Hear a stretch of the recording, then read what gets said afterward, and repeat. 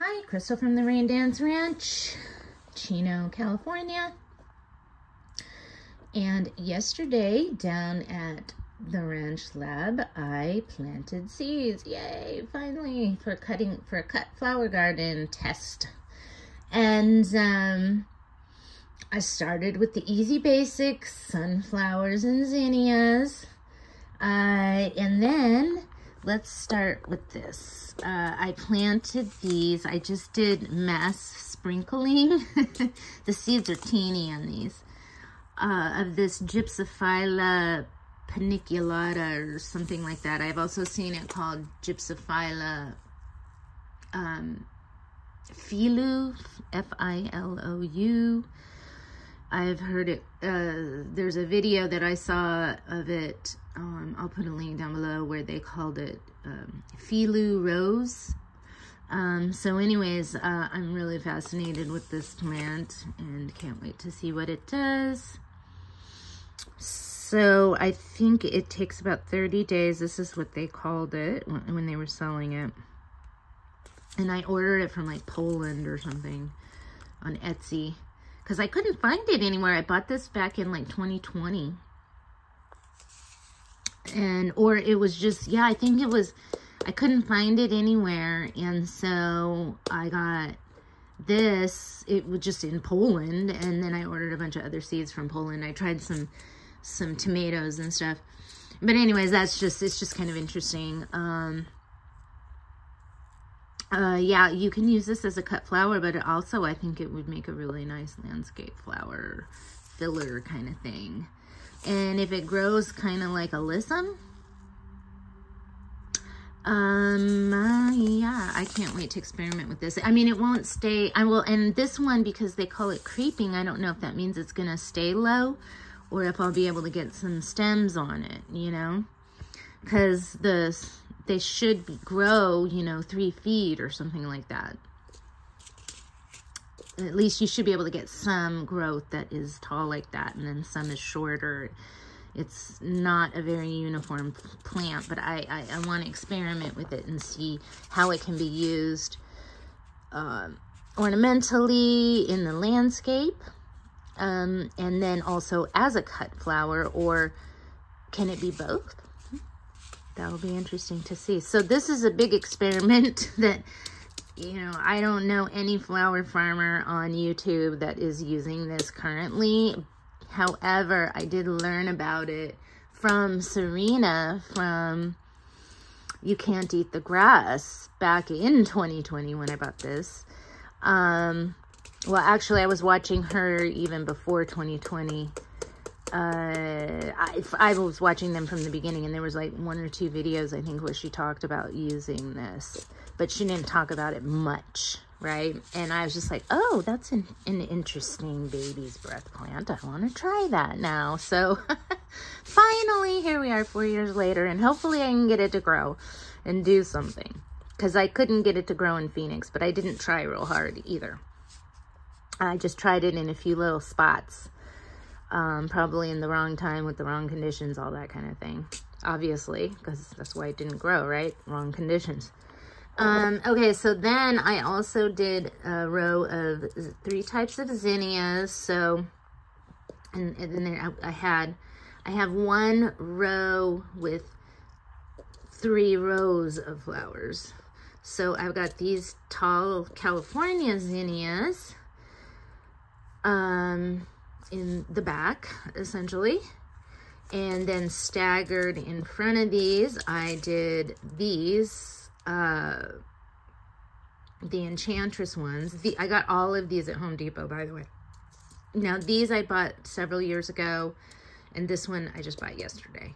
So, freshest, not so fresh, but I suspect that they should do fine. We'll see.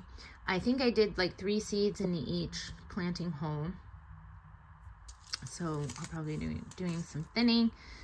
Um, but yeah, I really wanted to try these taller versions because I wanted a bigger flower head for, you know, a cut flower arrangement. But I think the littler ones will be nice as well. But I really want to get experiment with these because I see these as like a dahlia alternative, great for a beginner or somebody with no money. right? Because I was looking at getting some dahlias and I'm like, well, you know, maybe next year. Uh, because I'd rather spend my money on other things right now. You know, I don't have a huge budget. I'm working with a budget of $100 a month. I mean, I may go over that, but for anything that is plant related, my budget is $100 a month right now until I get my car paid off. You know, or I start making more money. But, um, so, you know, there's that trade-off. Um, but yeah, someday I'd like to invest in some dahlias. And but zinnias is just a really good flower for beginners and just put some seed out. You know, they grow really good from seed, direct sowing. And so, yeah, my goal was to have like a whole area of just direct sown everything. I didn't want to do any um, start from seeds under lights because A, I don't have my light system set up. Um, that's still in Arizona. and, um, and, uh, I'm just not, I just wanted to do direct sowing anyways. I just think, uh, anytime you can do any kind of direct sowing, by all means, I think it's a good idea. But sometimes you gotta, you know, grow your seeds on beforehand in the little, make your own seed starts or just buy them by somebody else. I'm looking, one of the things that I really want to invest in way more than dahlias is um, Lisianthus. And um, so I do want to start, I do want to buy seeds for that and, and start trying to grow them on. They take about four or five months. Um, probably if you haven't done them yet and you're not got the best setup yet for them. Um, but uh, you can buy them in plugs too, so I'm probably going to do that. And I do have some friends now who have just this awesome garden that needs to have cut flowers in it. And I said, can I do a cut flower here? They're like, yeah, come on over. And I'm like, okay, I'm going to have to get some of these Lisianthus things for, for their garden. They have no idea yet. I'm hopefully going to be talking to them this Sunday. Uh, they go to my church. So anyways, now I did not plant these yet, but I'm going to be planting these gladiolas. I got these at the dollar store. Yay, dollar store. So I don't know how well they're going to do. Maybe they'll be, they're, they're kind of small, which is kind of good because uh, sometimes you don't want big, huge flowers. You want a smaller flower. So a smaller bulb is going to give you a smaller flower. So uh, Serena from You Can't Eat the Grass was talking about that. And I've tried to tell people all the time, you don't necessarily always want the thing to be as huge as possible. Sometimes you want it to stay smaller for some reason. Whatever, uh, various different plants. Or you want it to grow slow, like succulents. When you cram succulents together in a pot, like the ones that I have in Sierra's garden, they tend not to grow fast. And so you can have, you can make it look good from the beginning and it stays that way. so, you know, uh, a lot of people that first get into gardening, they don't think about these things. They just think, I want it to just grow big right away, you know? And I, and I'm guilty. Guilt. I've been there. And now I just see there's a time and a place for everything, and there's more than one way to skin a cat. Okay, so here I bought these. I bought these a couple of years ago too at the dollar store. And um, I got these at the same time, just wanting to try lilies and see how they do in Phoenix. And I never planted them. Obviously, here they are. Now in Phoenix, I thought that these would do well as long as I, you know, kept them protected in the summertime because uh, they need a, a, freeze or a frost or, you know, they need a cold period. And, um, and some people will take them up and keep them in the refrigerator.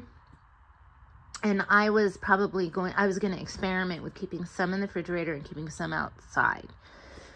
Because we do get freezes in uh, Phoenix. But here in Chino, I believe it's zone 10, and we probably if they ever got a freeze here, it would be, you know, the exception to the rule kind of a situation. Um, and so I don't know if it gets cold enough for these to to grow well uh, and flower well. So I'm gonna try and see, and um, I'll probably send some to my boyfriend's mom in Flagstaff, Arizona. Uh, I think they'll probably do well there. And um, there's a video uh, about these uh, that I can send you. And then there was a video on these gypsophilas that I want to send you. Uh, it'll be down in the description below, both of the the videos. So um, I think while I'm, you know, my main goal is not to grow Asiatic lilies, but I just want to learn a little bit. And if you want to learn a little bit, Do know a really great resource. And then I can show you a video of what these look like when they're grown out.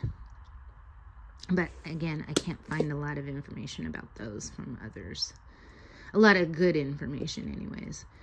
And then the gladiolas, uh, these things you succession grow. These things are like planting regular seeds. You put them in the ground, they start growing, you know.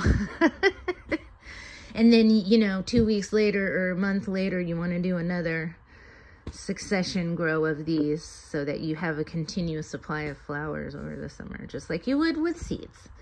Um, so that's what I love about these gladiolas. And then, of course, you can reuse them, and then you can multiply them. I I'm in love with these gladiolas. Well, I have never planted them, but what I know about them, I love. I've already loved them. All right, so this is Crystal from the Rain Dance Ranch, Chino, California. It is February 16th, 2024. When it rains, go out and dance.